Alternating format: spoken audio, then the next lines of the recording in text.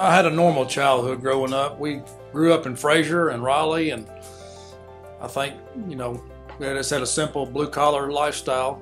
Two, two parents, had a brother of mine, and uh, both parents were always working, so we did a lot of things differently than most people do today. We had chores, that's the way we earned our money, and so it's pretty simple upbringing.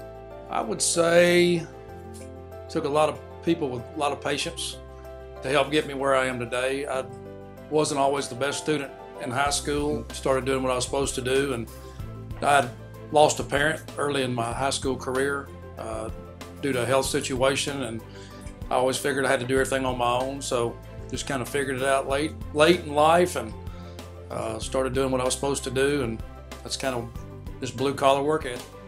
I would say I coached for 16, 17 years.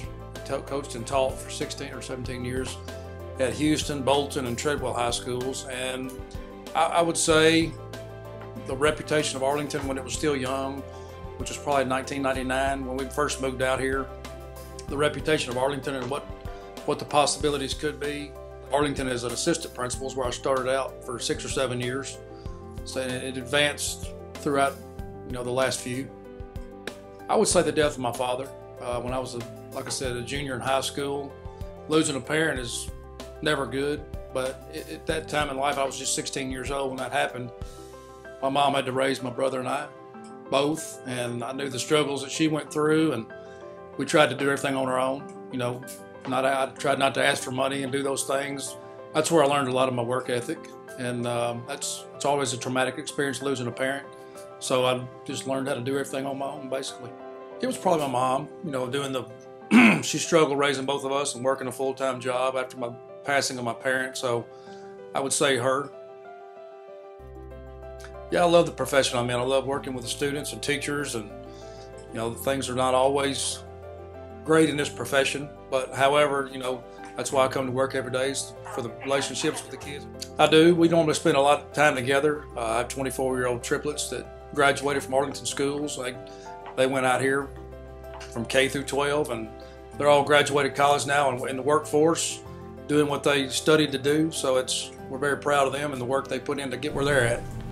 That's a tough question there. I have a lot of good memories from my childhood. Obviously, there was only one traumatic experience, but I would say winning the state championship in high school as a baseball pitcher, uh, getting to pitch that game in front of a big crowd, and after being a runner-up two years prior, just goes to show that you know you keep putting in the hard work, sometimes it'll pay off. Uh, I, I, most traumatic was obviously the death of my father. Uh, probably taught me to, to be the man I am today, I guess. Uh, that was never easy because I was always an angry person after that happened because I always wanted to blame God for taking my parent away way too soon because he was a very good man.